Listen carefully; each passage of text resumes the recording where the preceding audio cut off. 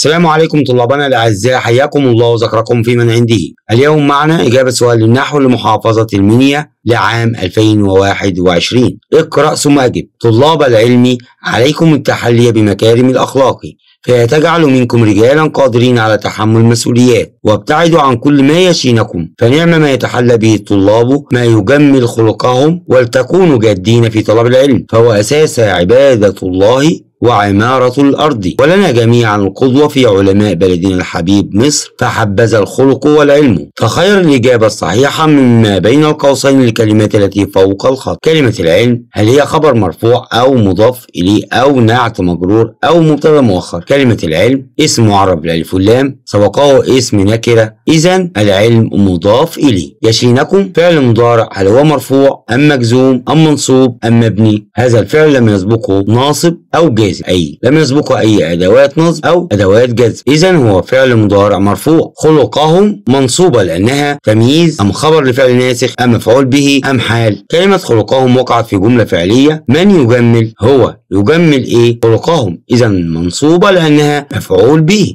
الحبيب هل هي نعت مرفوع أم نعت مجرور؟ أم بدل مجرور أم مضاف إليه؟ كلمة الحبيب اسم معرب بالألف واللام جاء قبله. اسم معرب بالإضافة بلدنا. وكلمة بلدنا مضاف إليه مجرور. إذا الحبيب نعت مجرور. باء استخرج من الفقرة السابقة ما يلي. ممنوع من الصرف لسبب واحد وبين السبب. نبحث معا عن صيغ منتهى الجموع أو أي اسم مختوم بألف تأنيث ممدودة أو أي اسم مختوم بألف لينة. فنجد كلمة مكارم ممنوعة من الصرف والسبب صيغة منتهى الجموع بعد ألفها حرفين. وأيضا نجد كلمة علماء والسبب أنها اسم مختوم بألف تأنيث ممدودة. بدلا وبين نوعه. نبحث عن أشكال بدل مطابق إن لم نجد نبحث عن بدل بعض من كل أو بدل الشمال ثم نبحث عن بدل تفصيل إن لم نجد. نجد كلمة مصر. علم سبقه اسم معرفة وهو الحبيب. إذا البدل مصر نوعه بدل مطابق أو بدل كل من كل منادى وعربه. نبحث عن أي أداة نداء لا نجد. إذا نحن أمام نداء محذوف. حذفت أداته. نذهب إلى بداية القطعة. كلمة طلاب العلم. بعدها فصل. ثم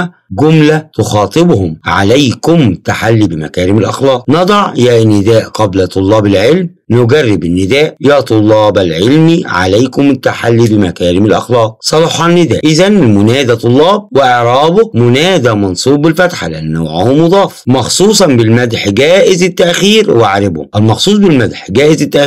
هو مخصوص نعمة أو حسنة. ونجد أسلوب المدح في جملة فنعم ما يتحلى به الطلاب ما يجمل خلقهم نعمة هو فعل المدح ما الموصولة الأولى هي فاعل المدح. يتحلى به الطلاب جملة صلة الموصول ما الثانية هي المخصوص بالمدح. وإعرابها ما اسم موصول مبني في محل رفع مبتدأ ويجوز إعرابه في محل رفع خبر لمبتدأ محذوف. تقديره هو جيم تخير الإجابة الصحيحة مما بين قوسين لما يلي. شباب مصر صانوا نيلها كلمة شباب هل هي منادى مبتدأ خبر مقدم فاعل؟ كلمة شباب مصر هنا لا تصلح للنداء لأن جملة صانوا نيلها ليست خطاب موجه لهم بل وصف عنهم وكأنها خبر جملة فعلية للمبتدأ شباب. إذا شباب مبتدأ. هذه دنيا فانية. سبب منع كلمة دنيا من الصرف. هل اسم به ألف تانيث مكسورة علم مؤنث. أم صيغة منتهى الجموع. أم علم على وزن فعل أسمع طالبا ماهرا يقول اسم به ألف تأنيث مكسورة بالطبع إجابة صحيحة. فهي ليست علم على وزن فعل وأيضا ليست علم مؤنث. وكذلك ليست صيغة منتهى الجموع. دال صوب الخطأ في العبارتين التاليتين. إن أخي أحمدا بارا بوالديه. الخطأ هنا في كلمة أحمدا وكلمة بارا. أولا كلمة أحمدا كلمة ممنوعة من الصرف لا يجوز تنوينها فأحمدا صوابها أحمدا بدون تنوين فقط نصب بفتحة على الدال. وأيضا الخطأ كلمة بارا. فهنا خطأ نحوي في الإعراب. فبارا مرفوعة لأنها خبر إن تكون بار. تكون الإجابة إن أخي أحمد بار